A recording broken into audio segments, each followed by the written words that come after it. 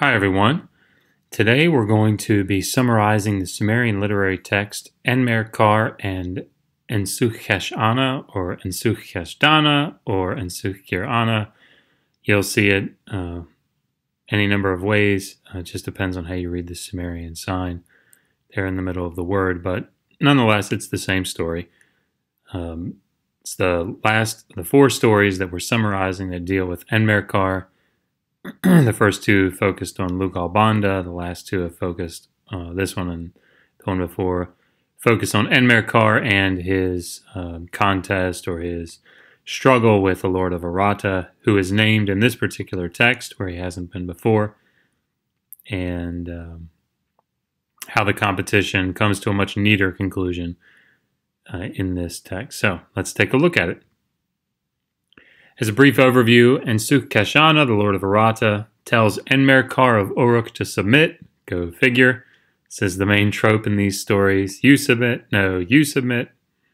Remember, Uruk is Enmerkar's city, and Aratta is the, the city off to the to the east, far to the east. Both uh, claim the patronage of Inanna, and of course, both are struggling for supremacy. It always turns out that Enmerkar wins, but uh, Aratta always is left in a good light or in a in a prosperous situation. So um, here we have the Lord of Aratta, whose name is Ensuhkeshana, telling Enmerkar of Uruk to submit. Now, a sorcerer, when when Enmerkar writes back and says, "Nope, not submitting, a sorcerer, Orgiri uh, Nuna, uh, goes and wreaks havoc on the city of Eresh, which is the home of Nisaba. It's very close to Uruk, but doesn't actually get you know to Uruk. Uruk. And finally, the wise woman Sangboru, um, little misspelling there, who we think is probably the goddess Nisaba herself, defeats and kills the sorcerer Urgirinuna. Um, for what he's done to the to the city. So, setting the scene, what's the, the backdrop? Well, Ensuhkeshana sends a messenger to Uruk telling Enmerkar, the king of Uruk, to submit to Aratta. No surprise. Enmerkar writes a response on a tablet, which, if you remember from Enmerkar and the Lord of Aratta, that was a, a main trope or a central theme, um, a central um, event in the text, and of course, here we see it again um, in not so dramatic a fashion. But he writes on a tablet saying that he will not submit. The assembly at Aratta, when the message come ba- comes back, um, is somewhat annoyed at Ensuhkeshana, the lord of Aratta, for provoking Enmerkar. They say, It's your fault. You started this. Um, and uh, Ensuhkeshana says, "You know what? I, I, I'm, I'm not going to submit to him. I'm not going to submit to him.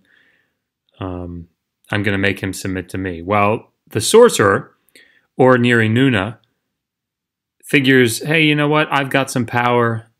I can make Enmerkar submit, and so I'm going to go to Uruk and make him, make him submit to my master." The Lord of Aratta. So, and, Ensuhkeshana is very pleased at this, and he pays him and promises upon uh, his successful return many, many more riches to be heaped up upon him. Well, the sorcerer Ordinary Nuna goes to the city of Eresh, which again is very close to Uruk, but not quite to Uruk. And it's the city of the goddess Nisaba. And there he visits the cattle pen and the goat byre, and he does some interesting things there. Magically causes the um, cows to speak and the goats to speak, and he curses them and makes butter and food and all these other things dry up uh, by cursing the cattle or by cursing the the uh, cows and the, the goats. So, because of this, the shepherd and the cowherd uh, complain to the sun god Utu, say, "Please, you know, help us."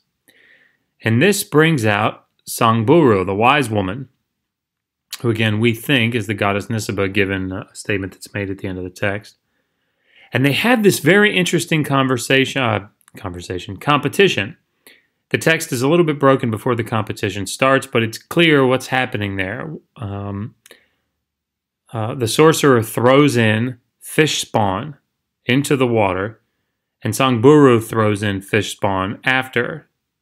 Um, and whatever comes out of the water first by the by the magical power of the sorcerer is countered and um,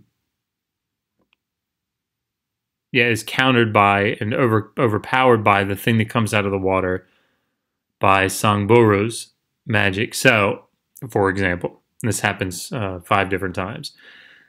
Uh, the sorcerer throws in fish spawn and the giant carp comes out. Well, Sangburu throws in her fish spawn and an eagle comes out and takes the carp and, you know, kills it. In round two, um, the sorcerer throws in the fish spawn and a ewe and its lamb come out. When Sangburu throws her fish spawn in, a wolf comes out of the water and eats the ewe and the lamb. In the third scene, the cow and the calf come out and are eaten by the lion. An ibex and a wild sheep come out for the sorcerer, and Songburu makes a mountain leopard come out, which kills them. And then finally, a gazelle kid comes out from the sorcerer's fish spawn, but a tiger and lion uh, come out by Songburu's hand and kill the gazelle kid. Well, it becomes clear that the sorcerer is completely bested and he begs for mercy, saying, Please let me return. Let me just go home. Let me take my toys and go home. Please don't kill me. Um, and Songburu says, No, you know, you've uh, you've you've done wrong and you've done terrible things to the um, to my city, and uh, justice calls for you to die, and so she kills him.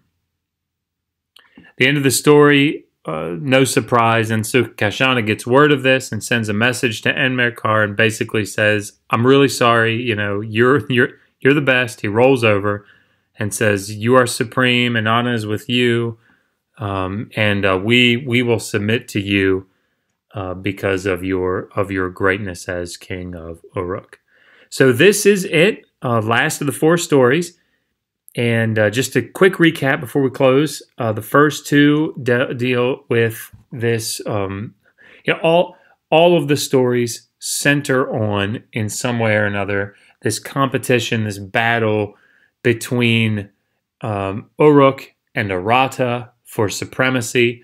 In the first two stories, Lugalbanda and the Mountain Cave and Lugalbanda and the Anzu Bird, it, it, the story shifts its focus uh, sort of leaving the, in general, leaving the uh, competition between the two cities in the background in a, in a way, and focusing on Lugalbanda, who has a near death experience in the mountain cave and ultimately, as a holy, pious um, servant of the gods, is brought back to full health and is blessed by the Anzu bird with great strength and speed to uh, go and help Uruk secure a victory over Aratta.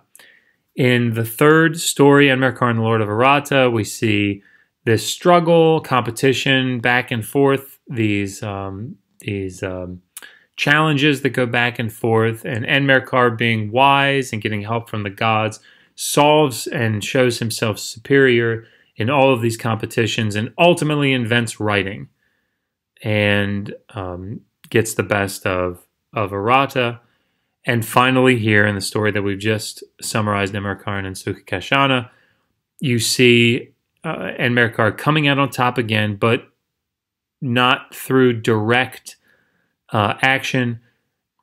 I, I, would say it's um, it's more apparent that, um, or certainly the focus is more that the gods are on his side and stand with him.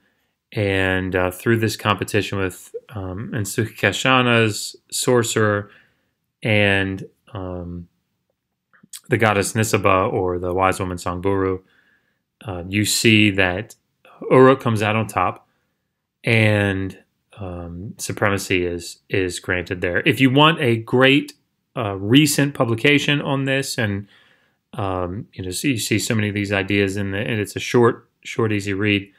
Uh, there's a publication. I'll put it in the in the um, description below by Klaus Wilcke, brilliant Assyriologist, and um, it's a recent, a short text, uh, sorry, short monograph uh, about this particular um, Sumerian story, Sumerian literary text with um, a full edition, um, a um, transliteration, score, and some commentary on it.